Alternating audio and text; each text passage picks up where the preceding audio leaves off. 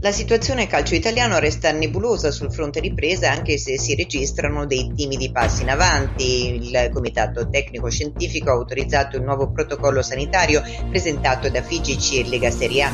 La conferma dell'autorizzazione è arrivata dallo stesso ministro dello sport Spadafora che ha detto che gli allenamenti collettivi possono riprendere, sono state fatte valutazioni puntuali e la Federcalcio è stata disponibile a rivedere la sua proposta.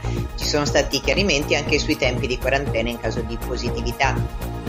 E in caso di un contagio cosa accadrà? A questo interrogativo Spadafora ha risposto il positivo va in quarantena, gli altri possono continuare a lavorare ma controllati in isolamento nel proprio centro sportivo. È giusto che il calcio abbia la possibilità di riprendere in sicurezza.